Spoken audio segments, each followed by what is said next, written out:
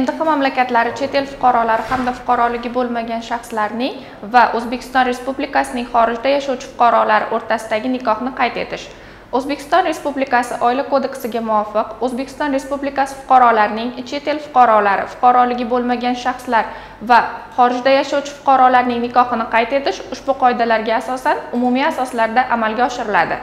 O'zbekiston fuqarolari bilan chet el fuqarolari yoki fuqaroligi bo'lmagan shaxslar o'rtasida nikohni qayd etish chet el fuqarolari yoki fuqaroligi bo'lmagan shaxslarning o'zbekistonda bo'lish vizasi amalda haqiqiy bo'lsagina amalga oshiriladi. Bunda o'zbekiston respublikasi bilan nikohga kirish uchun ariza topshirgan chet el fuqarolari hamda fuqaroligi bo'lmagan shaxslarning shaxsini tasdiqlovchi hujjatlarning nusxasi shuningdek chet el fuqarolari va fuqaroligi bo'lmagan shaxslarning nikohda turmasligi haqida belgilangan tartibda legalizatsiya qilingan yoki apostil qo'yilgan hujjat davlat tiliga tarjimasi bilan ilova qilinadi.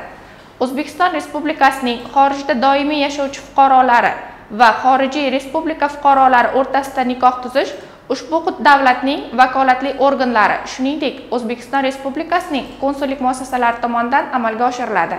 Bunda chet el fuqarosi bilan nikohga kirish uchun ariza topshirgan o'zbekiston respublikasining fuqarosi konsul tomonidan belgilangan tartibda nikohda turmasligi haqida ma'lumotnomani olishi mumkin. Bunda konsul konsullik muassasasida mavjud bo'lgan ma'lumotlar asosida beradi. Agar konsullik muassasasida ushbu shaxsning oilaviy ahvoli to'g'risida ma'lumotlar bo'lmasa o'zbekiston respublikasining tashqi ishlar vazirligi orqali adliya vazirligidan olinadi.